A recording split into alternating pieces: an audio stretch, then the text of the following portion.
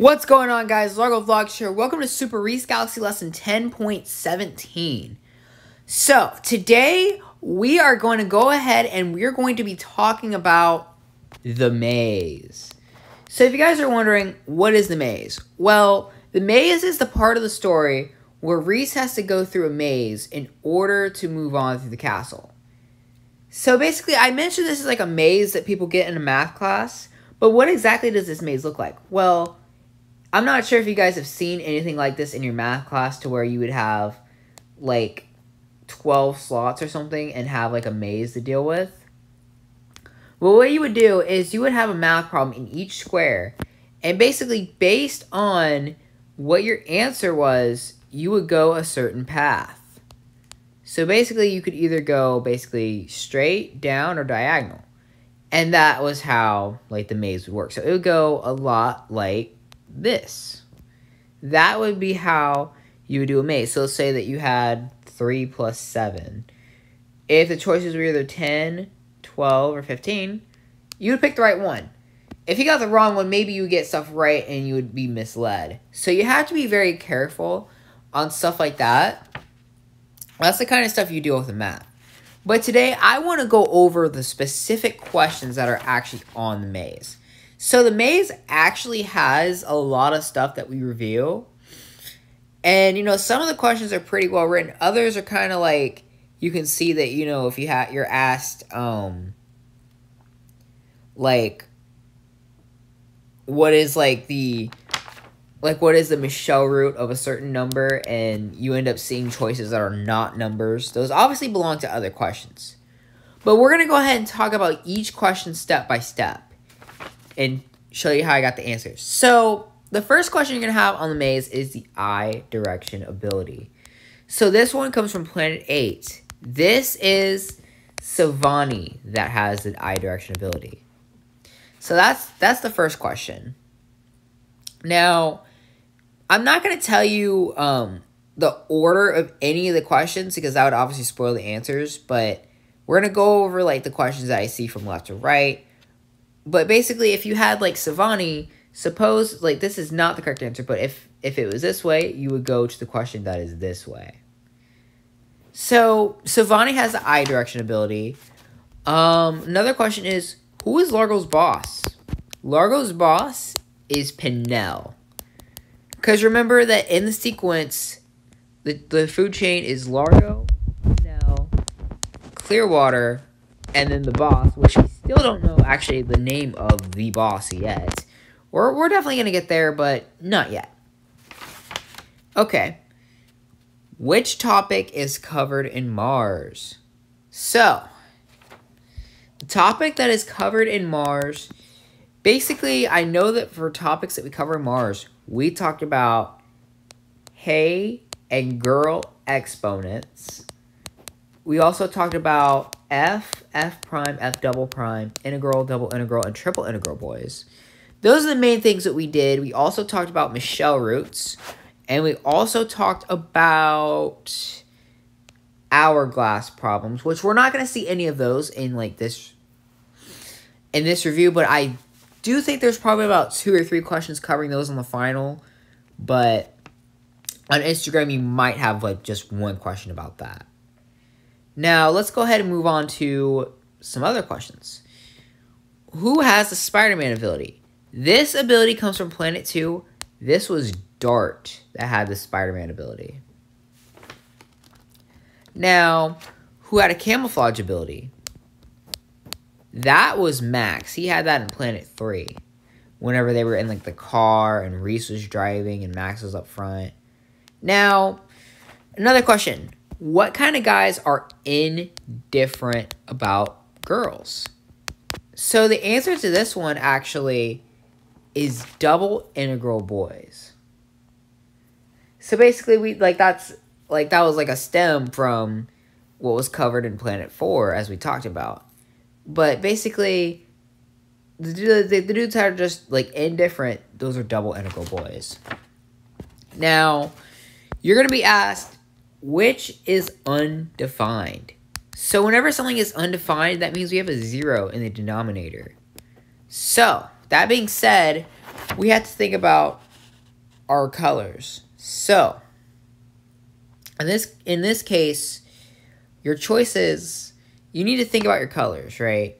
So, the choices that you're actually going to have on the test are going to be cotangent red, cotangent of blue, and then you're going to have cosecant yellow. Those are actual choices you're going to have. Now, you need to remember how like this color wheel is designed. So basically, whenever you have like the color wheel, whenever you would do like the circle in Fritz Forrest, this is what you would have. Red was right here, blue is here, and you'd have yellow right here. Now, looking at your choices, when you have the cotangent of red, remember like the formula that we that we did. It would be x over y. So x over y would be what you'd have there. Now, for blue, you had the cotangent of blue, which is x over y.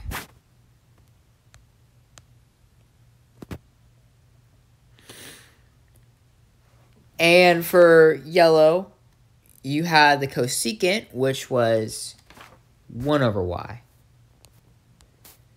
So basically, we really want to focus on how high up that you are. If you're right here, it's 0. Here is negative 1. And right here is 1. That's the height.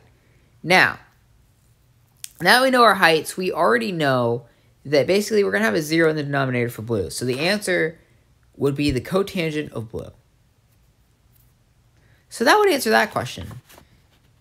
Now, who can read minds? So let's talk about mind reading. So basically, you got to remember Tia can read minds. David can read minds with bad intentions. And then Amelia can track previous conversations. And she can also use a Kaylee helmet as well. Now, who has a cat suit ability? This was from Planet 9. Gabby had the cat suit ability. Okay. Now, let's talk about how to find the Michelle root of a number. So I'm not going to tell you which number is actually going to be on there, but let's say that we need to find the Michelle root of 16. So the number is found by the mean of the factors. So every number, basically, you want to figure out what are all the factors of 16. Basically, it's all the numbers that 16 is divisible by. So I have 1, 2, 4, 8, and 16. So that's the first step. So now that we have all of our factors of 16, we're going to add those together. 1 plus 2 plus 4 is 7, plus 8 is 15, and then plus 16 is 31. Now we take our we take this number divided by the number of factors, and we have 16 root of 16. So you're gonna get like a, a different number, and on that number, your Michelle root is actually going to be a whole number, and you'll have a bunch of choices. Now, one thing we just talked about is who has the ability to use the Kaylee helmet. That's Amelia. Now, you're gonna be asked a question about what is the square root of a perfect square. So, maybe you might use a calculator for this. I mean, you definitely could. I've never said you couldn't use a calculator. But I'm not going to tell you which perfect square it is, but let's say that it was 441. What you would do is you would actually want to break down your factors. And maybe you get, you start to realize, hey, these two numbers make 441 Okay, let's try a different example though. Because that, that one was too obvious. But let's say that you did 400. You have 100 and 4, 2 and 2. So if you realize that you have basically your pairs are exact, there's like, you have exact pairs, then it's a perfect square. See, like if you have like 16, 4 and 4, 2 and 2, like if you end up having pairs of prime numbers and there's no number that's the odd, odd guy out, that number is a perfect square. That's how you find a perfect square. Unless if you just remember your perfect squares up to like, you know, like 1 square through 20 squared, then you'll you'll pretty much just remember that. Now, let's go ahead and talk about some Savani Sling for or Alyssa Sling and Savani Sling. So, one of the questions is finding the magnitude of three numbers. Suppose that you have these numbers. To find magnitude, all you need to do is put these under a radical and solve just like this. 49 plus 25, that is 74. That is basically the square root of 74. Now, another question I want to talk about is the Savani sling formula. So, if you have this triangle here, this is a right angle. I need to find x.